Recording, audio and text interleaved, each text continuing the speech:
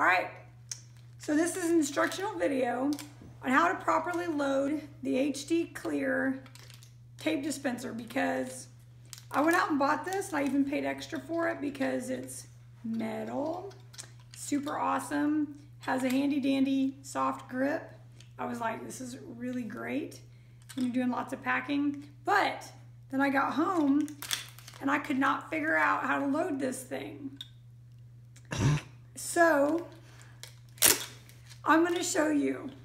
So it seems complicated and actually you're gonna put it through here.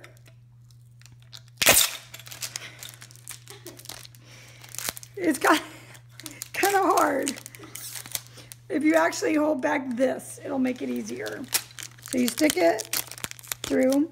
Here's where I got confused. All right, so I'm looking at this going, where the heck is the thing with the teeth to cut it off? There isn't one. I mean, I'm looking everywhere thinking, okay, now I got to feed it back through here and have it come out through here because I can tell it's sharp right here.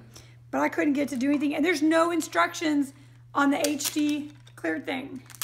So after much hard work and research, I figured out that there's a plastic piece. Ta-da! There's the teeth.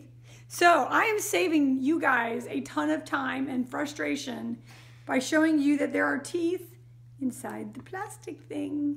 So then all you have to do is put on a box and it works. So I hope this, I hope this has been very helpful because it took me two days to figure out that there was a stupid plastic thing covering the sharp teeth.